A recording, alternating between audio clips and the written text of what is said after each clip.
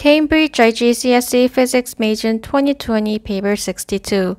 Question 1. A student investigates the period of a pendulum. Figure 1.1 and Figure 1.2 show the apparatus she uses. We have a pendulum with a bob attached to the clamp. Part A. Explain briefly with the help of a diagram how you'd use a meter rule and set square to measure the length d of a pendulum as accurately as possible.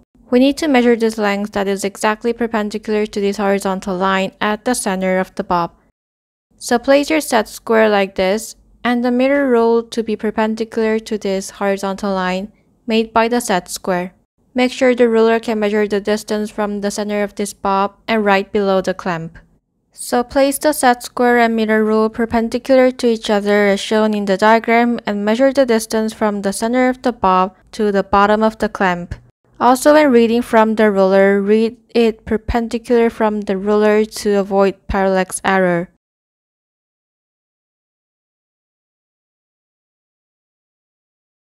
Part B. The student adjusts the pendulum so that D equals to 50 cm. She displaces the bob slightly and releases it so that it swings. Figure 1.2 shows one complete oscillation of the pendulum. She measures the time t1 for 20 complete oscillations. Record the time t1 shown in figure 1.3. It's 28.12 seconds. Calculate the period t1 of the pendulum. The period is the time for one complete oscillation. This time was for 20 complete oscillations, so for one complete oscillation, it's going to be 28.12 divided by 20, which is 1.406 seconds. Part C. The student adjusts the pendulum until the distance d is 100 cm. She repeats the procedure and records the time t2 for 20 oscillations and the period t2. This time it took longer, it's 39.80 seconds for 20 oscillations and 1.99 seconds for one oscillation. She measures the mass MA of the pendulum bob. The reading on the balance is shown in figure 1.4. Record mass MA of the pendulum bob to the nearest gram. The reading on the balance is 51.65 grams, so to the nearest gram, it's 52 grams. The student repeats the procedure using a pendulum bob of mass MB. This time, the mass of the bob increased. She obtains these results. So until now, these results were with a bob of 52 grams, and these results were after using a bob of 109 grams. Part D. Using the results T1, T2, T3, and T4, the period of each of the pendulums, take the response that matches your results within the limits of experimental accuracy. The options show whether period t is affected by d or m. Let's compare the period when distance d was 50 cm. At first, when the mass was 52 grams and the distance was 50 cm, the period was 1.406 seconds. Then when the mass was increased to 109 grams, the period was 1.39 seconds, which we can say is pretty similar considering the experimental accuracy. So we can say that it is not affected by the difference in mass. However, when using the same mass, for example, the mass of 109 grams, when the distance d is deferred, the period changes, showing that the period is affected by the distance. So the answer is the period t is affected by d only. Justify your answer to D1 by reference to the results. I just explained this when the mass was both 109 grams but the distance was increased from 50 cm to 100 cm, the period changed from 1.39 seconds to 2.02 seconds. Part E. The student now investigates the effect of the size of the oscillations and the period of the pendulum. Suggest briefly how you measure the size of an oscillation. You may draw a diagram. This is the size of an oscillation that they are talking about. To measure this, place a ruler at the bottom of the pendulum with the center of the ruler at where the bob is when it's stationary. Then as it moves from left to right, record a point on the ruler where the bob has traveled the furthest. The size will decrease for every oscillation since the pendulum will slowly stop moving.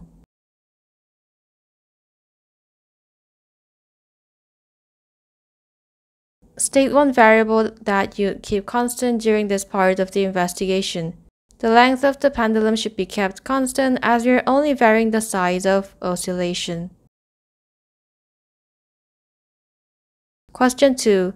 A student determines the resistance of a resistance wire. Figure 2.1 shows the circuit he uses. There's a power supply, ammeter, resistance wire, and voltmeter with a sliding contact C. You can move this sliding contact to vary the length. Part A. The student places the sliding contact C on the resistance wire at a distance L equals to 10 cm from B. Record in first row of table 2.1 the potential difference V across the length L equals to 10 cm of resistance wire as shown on the voltmeter in figure 2.2. In figure 2.2, it's 0.2 volts, so write 0.2 here. Record in the first row of table 2.1 the current I in the circuit as shown in figure 2.3. In figure 2.3, the center is 0.3, so this is 0.28 amperes. Complete the column headings in table 2.1. You can see that the units are not written in their headings, so write those here. L is length, V is voltage in volts, and I is current in amperes. Part B, the student repeats the procedure using L equals to 30 cm, 50 cm, 70 cm, and 90 cm. The readings are shown in Table 2.1. Plot a graph of V y-axis against L x-axis Start both axes at the origin 0, 0. They have told us which ones are in x and y axis, so let's put those first. Now we have to scale the graph. For x-axis, we need to plot from 10 to 90, and we have 5 big boxes, so let's set one big box as 20. It's from 0 to 100. For y-axis, we need to plot from 0.2 to 2.1, and we have 4.5 big boxes, so let's set one big box as 0.5. Then plot the points and draw the graph. Part C. Write a conclusion about the value of the current I in the circuit as the position of the sliding contact C is changed. The position of the sliding contact C changed means when the length L here is changed. So what happens to the current I when this is changed? You can see that the values of i are almost constant all the time, so the conclusion is that i is constant even though the position of the sliding contact C is changed. Justify your conclusion by reference to your result. Like I just said, when the value of length L is changed, the value of I changed is very little or are almost equal. Part D Using the graph, determine the potential difference VL when the length L equals to 60 cm. Show clearly on the graph how you obtained your result. When length L is 60 cm, it's not in the table, but we can find it from the graph we've just drawn. Find where 60 cm is from the x-axis and see where it meets the graph. You need to leave these lines on the graph as an evidence that will mark them. The answer depends on your graph as long as you've drawn your graph correctly. Question 3. A student investigates some thermal properties of sand and water. Figure 3.1 shows the apparatus. Thermometer is held by a clamp able to measure the temperature of whatever's inside this beaker. Part A. The thermometer in figure 3.2 shows the room temperature theta S as the beginning of the experiment. Record theta S. Simple question, just read the thermometer, it's 23 degrees Celsius. Part B. The student is supplied with hot water at the temperature theta H. She records the temperature of the hot water. It's 84 degrees Celsius. She pours 100 cm cube of hot water into a beaker that contains sand. Initially, the sand is at room temperature. She measures the highest temperature theta m of the mixture. After adding 84 degrees Celsius hot water, the water and sand mixture became 70 degrees Celsius. Calculate the rise in temperature theta r of the sand using the equation theta r equals to theta m minus theta s. Theta m was 70 and theta s was 23, so it's 47. Explain briefly what the student does after pouring the hot water into the sand and before taking the temperature in order to obtain a reliable value for theta m. This is a funny question to me. Well, you gotta stir it so that the temperature is the same throughout the mixture. Calculate the fall in temperature theta F of the hot water using the equation theta F equals to theta H minus theta M. Theta H was 84 and theta M was 70, so it's 14. Calculate the ratio S using the equation S equals to theta R over theta F. Give your answer to a suitable number of significant figures for this experiment.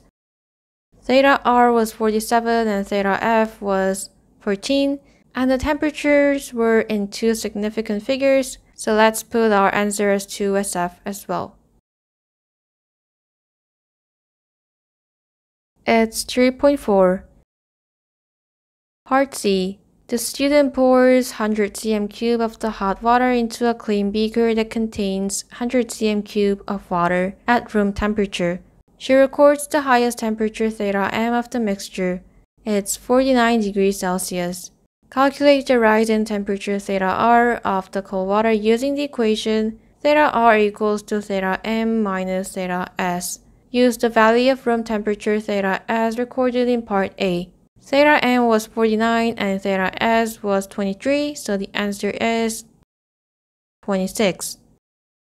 Calculate the falling temperature theta F of the hot water using the equation theta f equals to theta h minus theta m. Theta h was 84 and theta m was 49, so it's 35.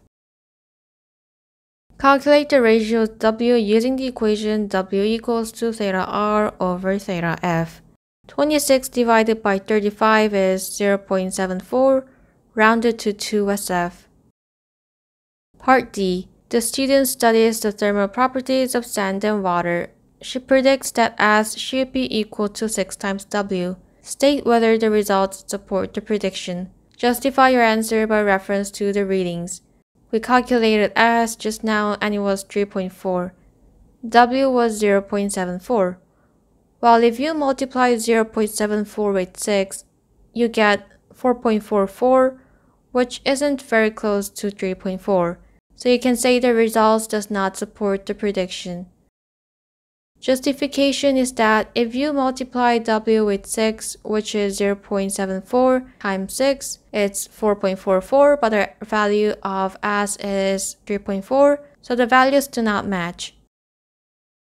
This answer depends on your answer for S and W, but for correct answers of S and W, this can be the answer.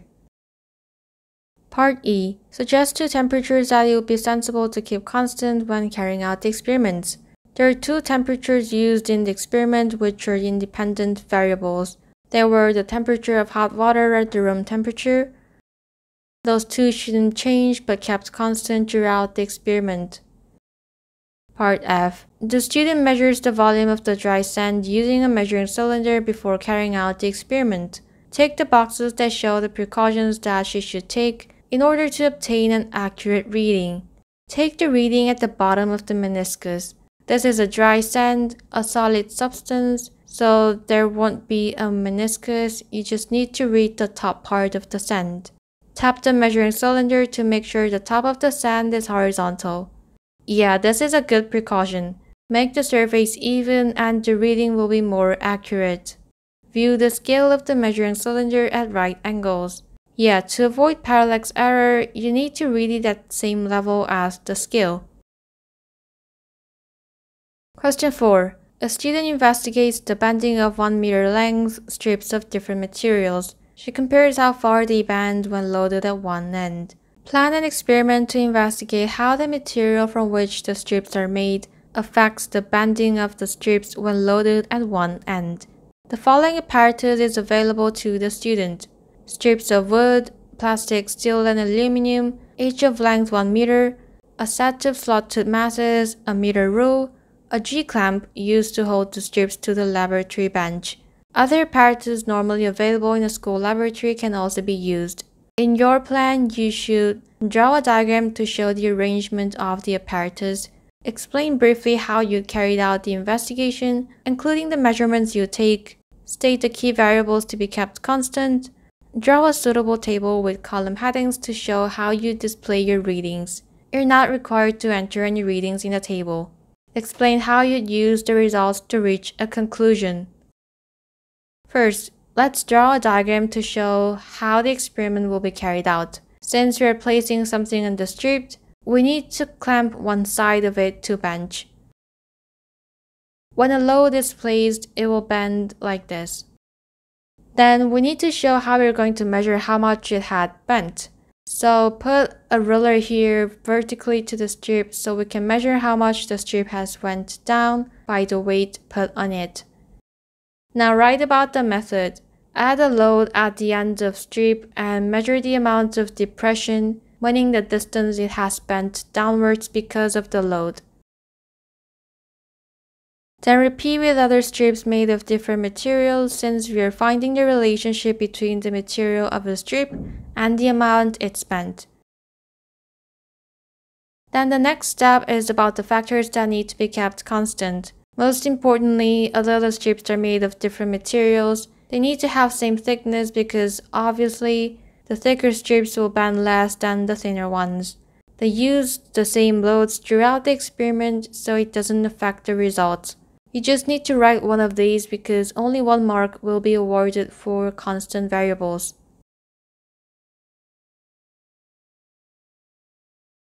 We've done this three, so let's draw a table. It's simple, we varied the material, so put a column for that. Then the load used should be included and also the depression in centimeters.